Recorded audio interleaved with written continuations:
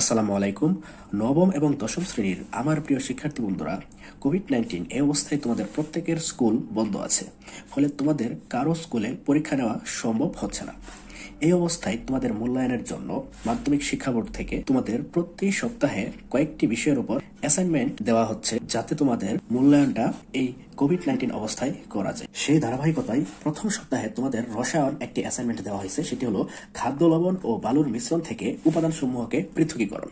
এই অ্যাসাইনমেন্টটি তোমরা করবে, কিন্তু তোমরা যেন অ্যাসাইনমেন্টটি খুব সহজে এবং বুঝে অ্যাসাইনমেন্টটি করতে পারো সেই জন্য আমরা স্কুল অফ সেলফ স্টাডির পক্ষ থেকে এই অ্যাসাইনমেন্ট সহ তোমাদের প্রতিটি বিষয়ের প্রতিটি অ্যাসাইনমেন্টের আমরা একটি করে ভিডিও দিয়ে দিব, যাতে তোমরা আসলে বুঝে বুঝে অ্যাসাইনমেন্টগুলো করতে পারো।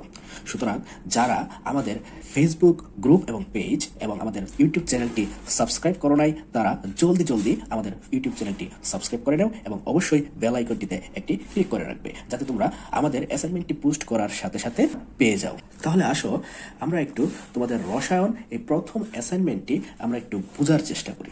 তোমাদের রসায়ন যে অ্যাসাইনমেন্টটি দেওয়া হয়েছে, যে খাদ্য লবণ এবং বালুর মিশ্রণ থেকে উপাদান সমূহকে পৃথকীকরণ। এই জায়গায় তোমাদেরকে বলা হয়েছে চারটি কাজ করতে। একটি হলো যে, এই প্রক্রিয়ায় কি কি পদ্ধতি ব্যবহার করা হয়েছে, সেই জিনিসটা তোমরা লিখবে এবং এই যে তুমি এই কাজটি কীভাবে করবে, এই কাজের ধারাটা তুমি লিখবে এবং এই যে তুমি কাজটি করলে এর প্রেক্ষিতে তুমি এটি পর্যবেক্ষণ করে একটি সিদ্ধান্ত নিবে, সেই জিনিসটি তুমি লিপিবদ্ধ করবে। এবং শেষে তোমার এই কাজটি করতে কি কি সতর্কতা অবলম্বন করতে হচ্ছে, সেই সতর্কতাগুলো তুমি লিখবে। তাহলে প্রথমে লক্ষ্য করো, এই মিশ্রণটি থেকে যদি আমরা উপাদানসমূহ পৃথক করতে চাই, তাহলে আমাদেরকে দুইটি পদ্ধতি ব্যবহার করতে হবে।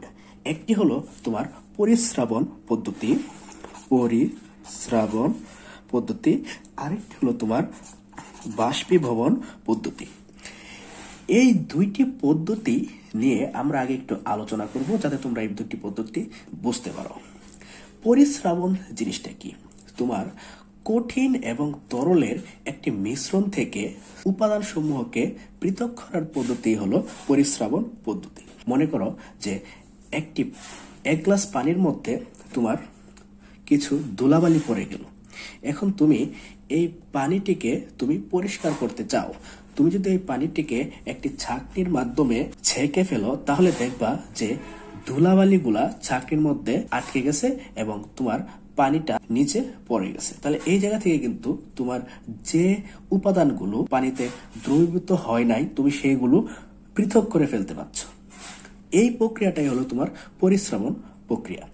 এবং বাষ্পীভবন প্রক্রিয়াটা কি? বাষ্পীভবন প্রক্রিয়াটা হলো এমন একটি প্রক্রিয়া এই প্রক্রিয়ায় ভিন্ন ফুটনাঙ্কের ভিন্ন ফুটনাঙ্কের দুইটি পদার্থকে পৃথক করা হয়। তবে মূলত এই বাষ্পীয়ভবন পদ্ধতিটি হচ্ছে যে আমার একটি পদার্থ তরল, তাকে আমরা তাপ দিব। তাপ দিয়ে যখন আমরা বাষ্পে পরিণত করি, সহজভাবে বলতে গেলে এটি হচ্ছে তোমার বাষ্পীয়ভবন। এবং এই কাজটা কিন্তু আমরা প্রতিনিয়ত হতে দেখছি। যেমন তোমরা বাসায় যখন ভাত রান্না করো বা তরকারি রান্না করো, তখন সেখানে যে পানিটা থাকে, সেটি কিন্তু তাপের ফলে বাষ্পীভূত হয়ে উড়ে যায়। এই প্রক্রিয়াটাই হচ্ছে তোমার যে বাষ্পীভবন প্রক্রিয়া। তাহলে আমাদের আজকের যে কাজটি আছে, এই কাজটি কিন্তু মূলত এই দুইটি পদ্ধতিতে করা লাগবে। তাহলে প্রথমে আসো যে এই কাজটি করতে গেলে কি কি উপাদান ব্যবহার করব। যেমন, আমাদের একটি বিকার লাগবে এবং একটি গ্লাস, রড লাগবে। তারপরে তোমরা এদিকে দেখতে পাচ্ছ যে আমাদের একটি কনিক্যাল ফ্লাক্স লাগবে, আমাদের একটি ফিল্টার পেপার লাগবে এবং একটা ফানেল আছে আর এখানে একটা স্ট্যান্ড আছে এবং এইদিকে তুমি একটি তার জালি আছে এবং একটি ত্রিপদী স্ট্যান্ড আছে এবং আমাদের এই তাপ দেওয়ার জন্য বুনসেন বার্নারটি আছে। তাহলে এই উপকরণগুলো আমাদের এই পরীক্ষণটি করতে লাগবে।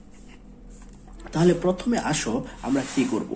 আমাদের যে কাজটি করা লাগবে, খাদ্য লবণ ও বালির মিশ্রণ তৈরি করা লাগবে প্রথমে। খাদ্য লবণ আমরা জানি যে সোডিয়াম ক্লোরাইড বা খাদ্য লবণ তোমার বাসায় আছে। তারপরে তুমি বালি সংগ্রহ করলা, বালি হলো তোমার সিলিকন ডাইঅক্সাইড। এই সিলিকন ডাইঅক্সাইড এবং তোমার সোডিয়াম ক্লোরাইড, অর্থাৎ খাদ্য লবণ এবং বালু, এই দুইটা পদার্থ তুমি একটি বিকারে নিলা। মনে করো এই যে এখানে দেখতে পাচ্ছ, মনে করো আমি বিকারে নিলাম। তারপরে এর মধ্যে আমি পানি যোগ করলাম। এই পানিগুলা দিয়ে আমি এটাকে একটা গোটা দিব। গোটা দিয়ে আমরা এখানে একটি মিশ্রণ তৈরি করে নিব প্রথমে। মিশ্রণটি তৈরি করার পরেই তো আমরা যে কাজটি করব, এখান থেকে এই সোডিয়াম ক্লোরাইড বা খাদ্য লবণ এবং সিলিকন ডাই অক্সাইড বা বালু আমরা পৃথক করব। এখন কীভাবে আমরা পৃথক করব? আমাদের প্রথম কাজ হলো এই মিশ্রণটি তৈরি হওয়ার পরে এই মিশ্রণটি থেকে পরিশ্রাবণ প্রক্রিয়ায় বালুটাকে আলাদা করে ফেলা। কারণ কি? বালু কিন্তু এই মিশ্রণের মধ্যে অদ্রবণীয় অবস্থায় থাকবে। এখানে বালু কিন্তু মিশ্রিত হবে না। তাহলে এখন আমার কাজ হলো এই মিশ্রণটাকে আমি এই ফানেলের ভিতর দিয়ে ঢেলে দিব। মনে করো এখান থেকে মিশ্রণের যে বিকারটি আছে। এই বিকারের ভেতর থেকে যে আমার মিশ্রণটি আছে, এই মিশ্রণটি আমি খুব সুন্দর করে এই ফানেলের ভেতর দিয়ে আমি ঢেলে দিলাম। তারপরে তুমি লক্ষ্য করো, এখানে কিন্তু আমার ফিল্টার পেপারটি দেওয়া আছে। এই যে কমলা কালারের তোমরা দেখতে পাচ্ছ, মনে করো এটি একটি ফিল্টার পেপার এবং এই ফিল্টার পেপারটি আমরা কীভাবে দিছি?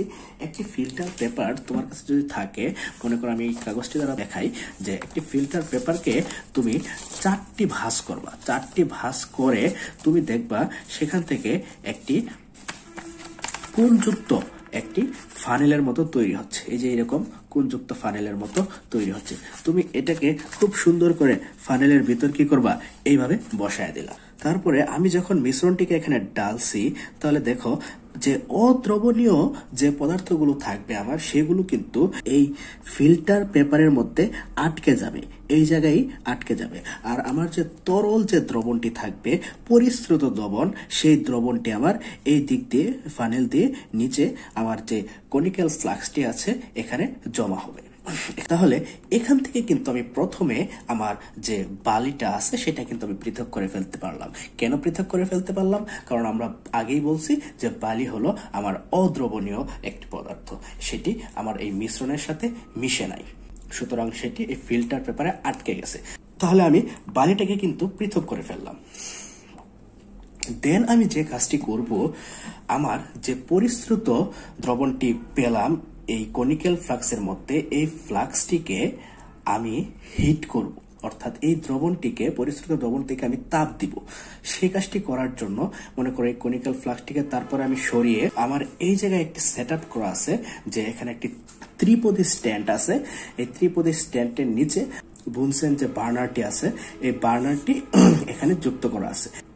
তাহলে এই ত্রিপদী স্ট্যান্ডের উপরে এই পাত্রটি খুব সুন্দর করে আমরা রাখতে পারব। এই তার জালিটি দিয়ে এখানে সুন্দর করে জায়গা তৈরি করা আছে। এই তার জালির উপরে পরিশ্রুত মিশ্রণ যুক্ত কোরিক্যাল ফ্লাক্সটি এনে রেখে দিলাম। তারপরে আমি এই বার্নার দিয়ে আমি তাপ দিচ্ছি। তাপ দেওয়ার ফলে এখানে আমি যে ঘটনাটা ঘটছে, সেটাই হলো আমার দ্বিতীয় যে পদ্ধতি, বাষ্পীভবন পদ্ধতি। এই পদ্ধতিতে আমার যে অন্য আরেকটি পদার্থ ছিল এই মিশ্রণের মধ্যে, সেটিকে আমি পৃথক করব। তাহলে এখানে কীভাবে প্রক্রিয়াটি সম্পন্ন হচ্ছে? লক্ষ্য করো, যখন আমি তাপ দিচ্ছি, তোমরা জানো বাসা বাড়িতে দেখো, সেটা আমরা আগেও বলছি, যে তাপ দিলে পানি কি হয়? পানি বাষ্পে পরিণত হয়ে যায়। এখানে যখন যখন বার্নার দিয়ে তাপ দিচ্ছি, তখন কিন্তু আমার এই জায়গায় যে জলীয় অংশটা আছে, সেটি কিন্তু তাপে এক পর্যায়ে বাষ্পে পরিণত হতে থাকবে। কোন পর্যায়ে যখন আমার এই জায়গার তাপমাত্রা একশো ডিগ্রি সেলসিয়াসে চলে যাবে, তখন আমার পানিটা বাষ্পে পরিণত হতে থাকবে। কারণ কি? আমরা জানি পানির স্ফুটনাঙ্ক হলো হান্ড্রেড ডিগ্রি সেলসিয়াস। তাই যখন আমার এই জায়গার তাপমাত্রা হান্ড্রেড ডিগ্রি সেলসিয়াসে চলে যাবে, আমার পানিটা কি হবে? বাষ্পে পরিণত হতে থাকবে। আর এই জায়গায় আমি কিছুক্ষণ পরে লক্ষ্য করব যে পানি সবগুলো বাষ্পে পরিণত হয়ে যাচ্ছে, কিন্তু আমার এই কনিক্যাল ফ্লাক্সের নিচে আমার কিছু পদার্থ রয়ে যাচ্ছে। সেই পদার্থগুলো বাষ্পে পরিণত হচ্ছে না। আর এগুলোই হলো আমি এই যে আমার মিশ্রণে যে লবণ মিশিয়েছিলাম, খাবার লবণ, সেই খাবার লবণ বা সোডিয়াম ক্লোরাইড। কারণ এখানে কারণটা কি? আমার পানি বাষ্পে পরিণত হচ্ছে, কিন্তু এই জায়গায় নিচে তলানি হিসাবে আমার লবণটা জমে যাচ্ছে। এখানে কারণটা কি? এই যে আমরা প্রথমেই বলছিলাম, বাষ্পীভবন প্রক্রিয়ায় আমরা স্ফুটনাঙ্কের সাহায্য নিই। এখানে পানির স্ফুটনাঙ্ক হলো একশো ডিগ্রি সেলসিয়াস, কিন্তু আমার যে লবণ আছে, এর স্ফুটনাঙ্ক কিন্তু অনেক বেশি, প্রায় চোদ্দশো পঁয়ষট্টি ডিগ্রি সেলসিয়াস। তাহলে তোমরা চিন্তাই করতে পারছ যে কত বেশি। তাহলে আমার তাপমাত্রা এই জায়গায় একশোতে যাওয়ার পর পানি ঠিকই বাষ্পে পরিণত হচ্ছে। কিন্তু তখনও কিন্তু আমার অনেক অনেক ডিগ্রি সেলসিয়াস দরকার। এই জায়গায় যে মিশ্রণের মধ্যে যে দ্রবীভূত অবস্থায় যে লবণ ছিল, সেই লবণটা বাষ্পে পরিণত হওয়ার জন্য। তাই একশো ডিগ্রি সেলসিয়াস তাপমাত্রায় পানিটা বাষ্পে পরিণত হচ্ছে। আর যখন আমার পানিটা বাষ্পে পরিণত হলো, তখন আমার কাজ কি হলো? আমি লবণটা দেখলাম, নিচে জমে গেছে। তাহলে আমার কাজ কিন্তু এই জায়গায় সম্পূর্ণ হয়ে গেল। আমার কাজ হলো উপাদানগুলোকে পৃথক করা। আমি প্রথমে বালিটাকে পৃথক করলাম। এখন পানি যখন সবগুলা বাষ্পে পরিণত হয়ে গেল, আমি নিচে লবণটাকেও পেয়ে গেলাম। এবং সেটি কোন প্রক্রিয়ায় পেয়ে গেলাম? আমি বাষ্পীয়ভবন প্রক্রিয়ায় আমার লবণটাকে পেয়ে গেলাম। এখন এই জিনিসটা তোমরা অ্যাসাইনমেন্টে কীভাবে লিখবে? আমি তোমাদের আরেকটু সুবিধা করার জন্য তোমরা স্ক্রিনে দেখতে পাচ্ছ যে এই অ্যাসাইনমেন্টটি গুছিয়ে লেখা আছে। তোমরা এই ভিডিওটাকে অফ করে স্ক্রিনে দেখানো অ্যাসাইনমেন্টটি তোমরা পড়বে। পরে আমি যে কথাগুলো বললাম সেগুলোর সাথে মিলানোর চেষ্টা করবে। দেন তোমরা তোমাদের বাসায় আরও সুন্দর করে অ্যাসাইনমেন্টটি করে ফেলবে। তাহলে, শিক্ষার্থী বন্ধুরা, আজ এই পর্যন্তই। আশা করি তোমরা প্রত্যেকে সুন্দর করে বুঝে অ্যাসাইনমেন্টটি করে তোমরা তোমাদের স্কুলে জমা দিবা।